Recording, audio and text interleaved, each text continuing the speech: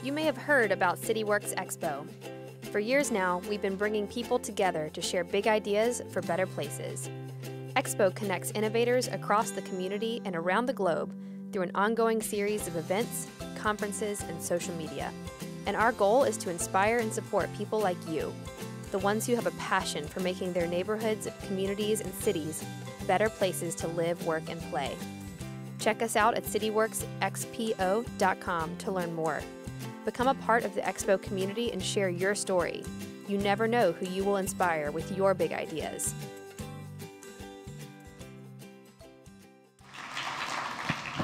Thank you, Ed. It's, uh, it's a real honor to be part of Expo this year. So, um, my name is Jamie Smyth, and I'm an assistant research assistant professor at the Virginia Tech Carilion Research Institute and Medical School, right here in Roanoke, as well as the Department of Biological Sciences in uh, Virginia Tech in Blacksburg. The research in my lab is focused on heart disease. And my name is Samy Lamouille. I'm a research assistant professor at the Virginia Tech Carilion Research Institute here in Roanoke. And I'm also head of discovery at a biotech company, First String Research. And my um, uh, research focus is on cancer. All right, so you may have picked up on a couple of accents there. Um, and that's actually because I'm originally from Ireland, um, and Samy's actually from France. Um, we're going to be talking to you today about communication on many, many different levels. But first of all, let's communicate with each other a little bit. So who can say this word right here? Hello. Hello. Okay. All right. How about this one here? Very good. Okay, now some Gaelic. Who can say those words? I heard Diagwitz. Yes, very good. Okay, so we've actually communicated yeah. in three different languages. Um, and you may be wondering why there's an Irishman and a Frenchman standing on the stage of Expo this year. Um, and it's actually because of a common passion that we share, which took us to Roanoke. And that passion is actually in uh, basic medical research. Now, the scientific career is a pretty challenging one, but it's also extremely rewarding. Um, and that takes me back to early in my training. I remember I was sitting at a microscope with one of my previous mentors, Clodagh O'Shea, who's now a professor in the Salk Institute in San Diego. Um, and I was looking at a microscope, and my experiment worked. So I saw something new. I saw something, I understood some biology. And I was excited, and I was writing my data down. And Clodagh turned to me and said, Jamie, stop. You need to understand the fact that you are the only person in the world right now who knows this. And that moment was one of the most humbling and impactful moments of my career, which actually cemented my path as a research scientist. So, of course, as academic scientists, it is really important to publish these kind of big discoveries. But it's also very critical to be able to take those discoveries out of printed paper and to move them forward um, to, toward therapies, toward the clinic, toward the patients. And this road is not always an easy one. But today we're going to tell you uh, why we believe that Roanoke has all the components uh, for us to achieve this dream of moving forward basic research into the clinic. Uh, but before we do so, we wanted to give you a little bit of background on ourselves. Um, um, so let's take some step back and tell you more about the path uh, that brought us from Europe to, uh, to the US. I just noticed those maps are actually to scale. Yeah, I, I like that. Fr France, France, is, is really big. Good.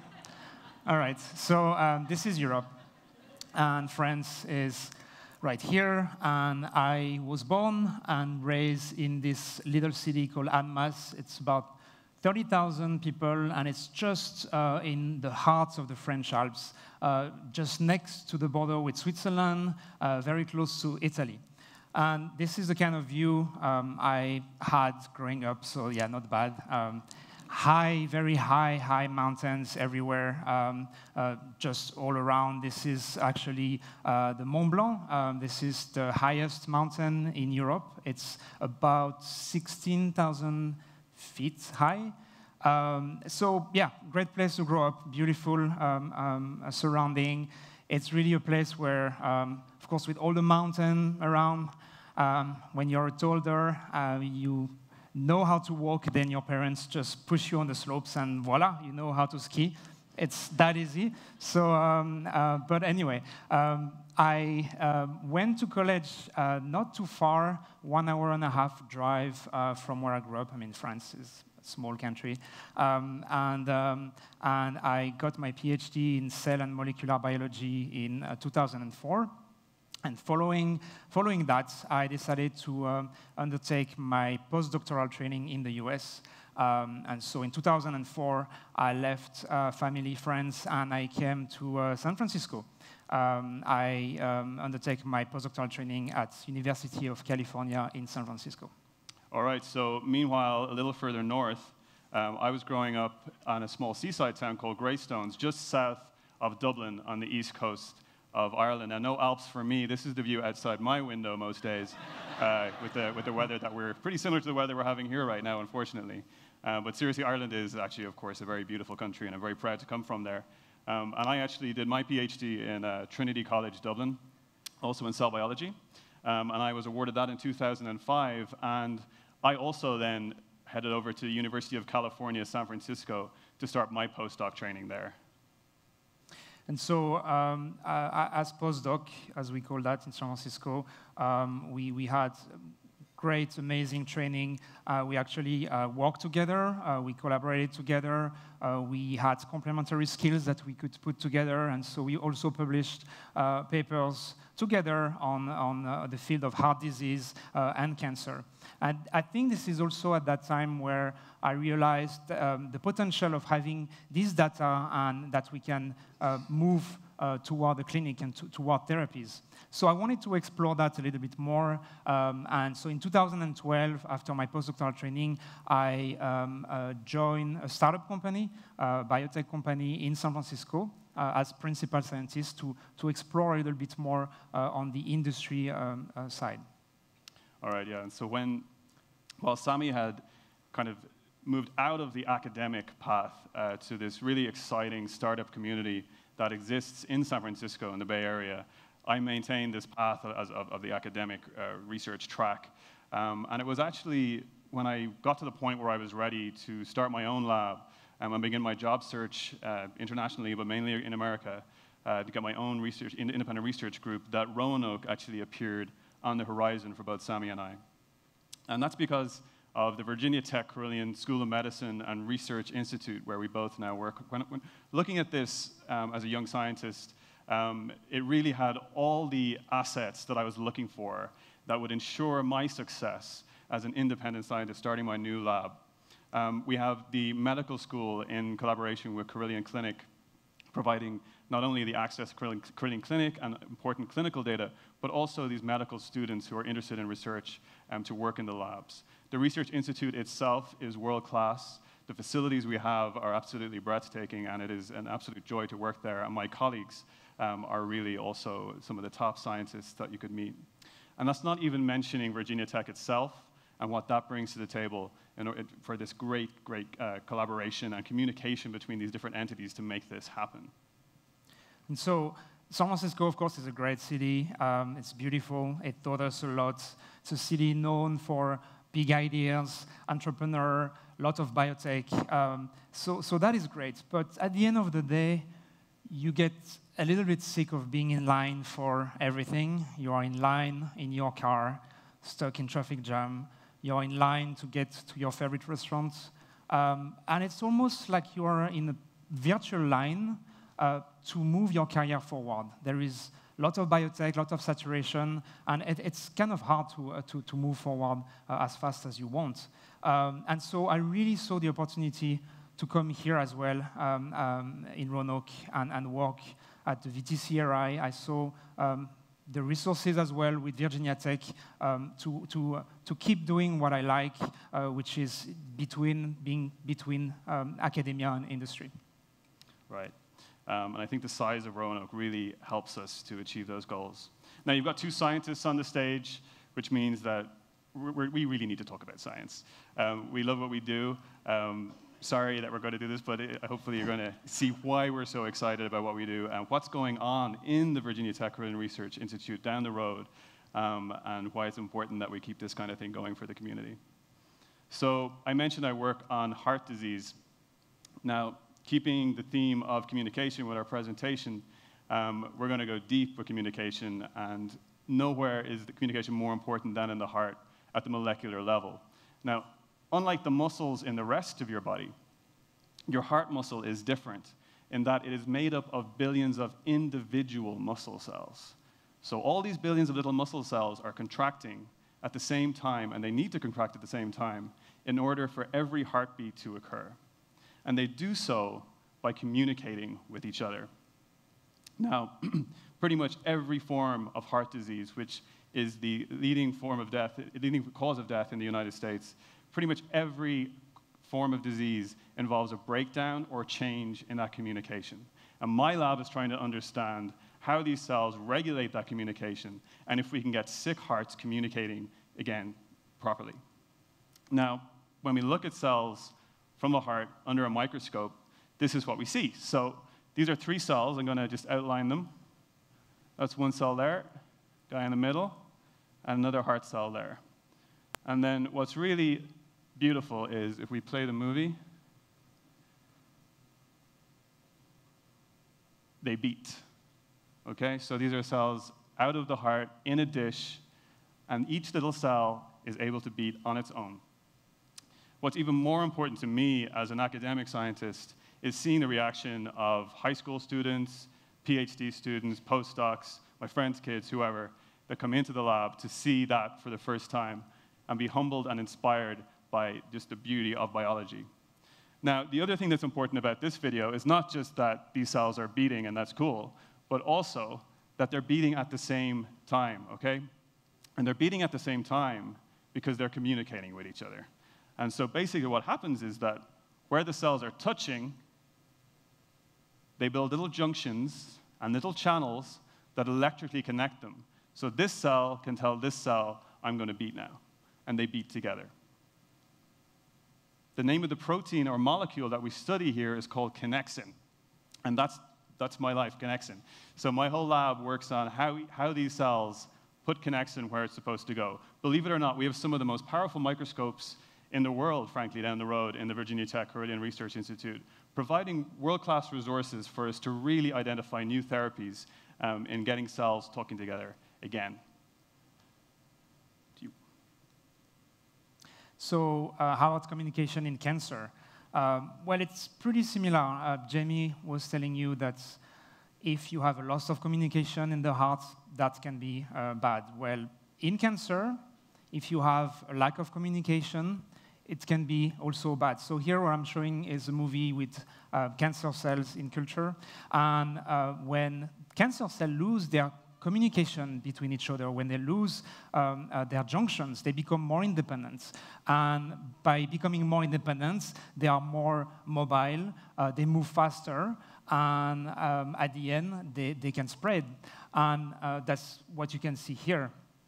And, and, this is bad because in your body, um, if, um, if you have, um, um when tumor um, is in your body, and if a cancer cell decide I'm going to escape now the tumor um, and, and, lose my communication with the other cells, then uh, uh, those cancer cells can spread through your body and form metastasis.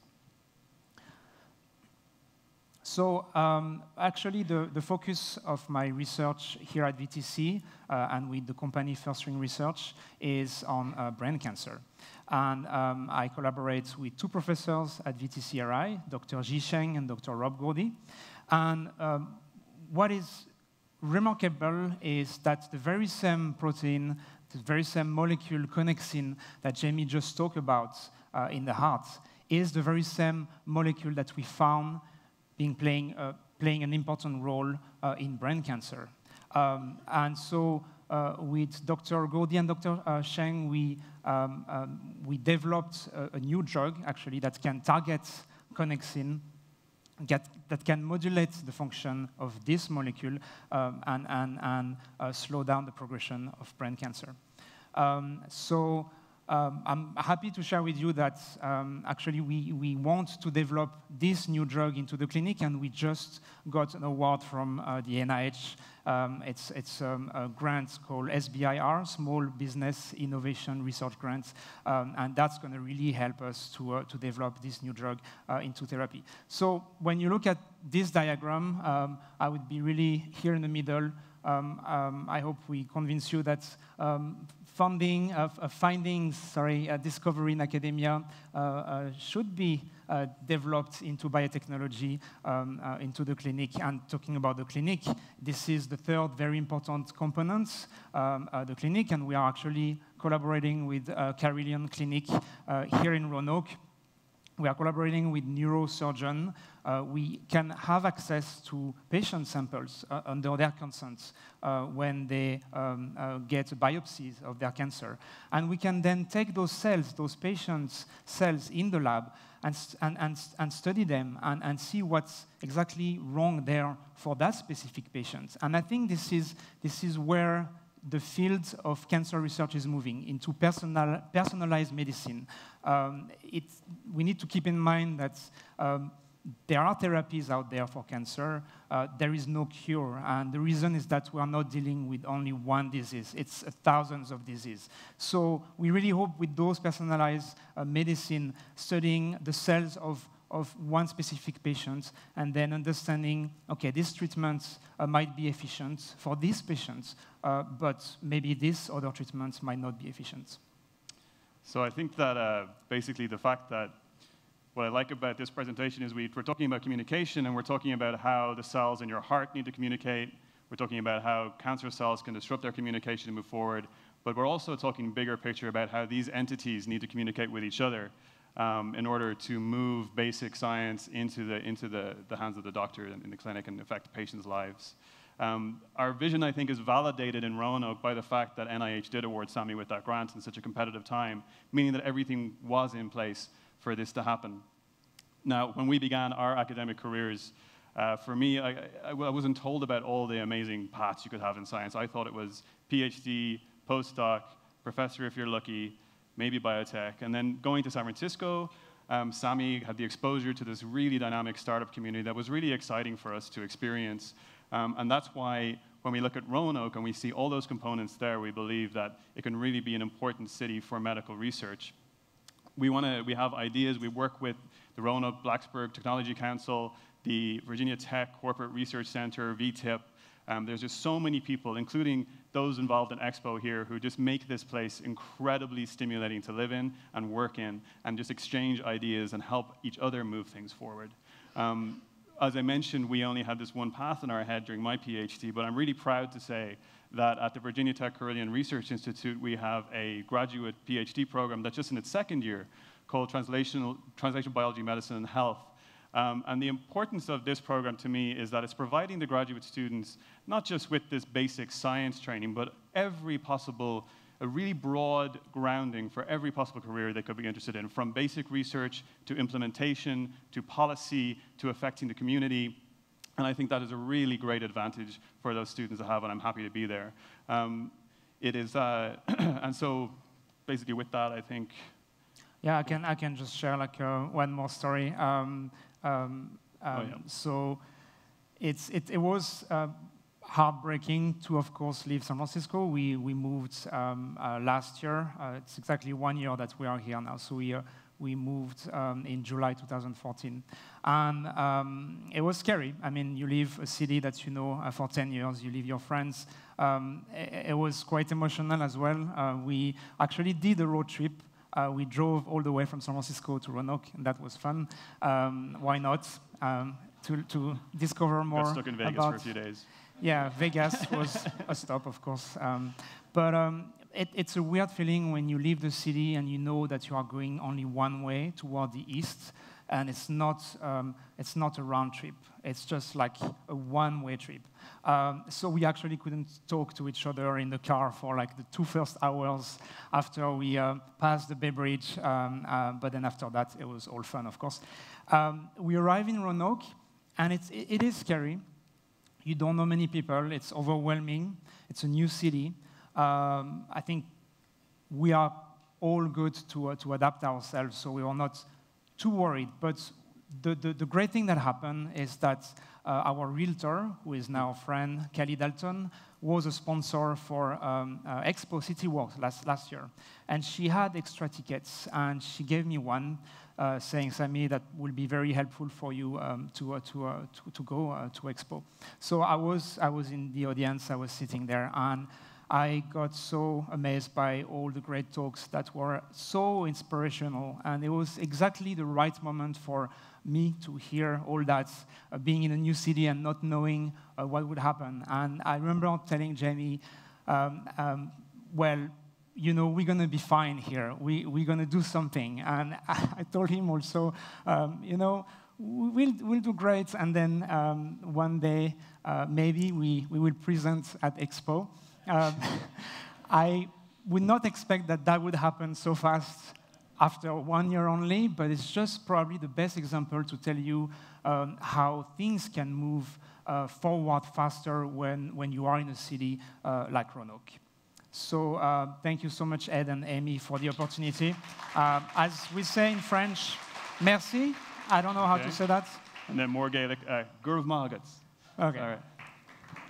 Thank you.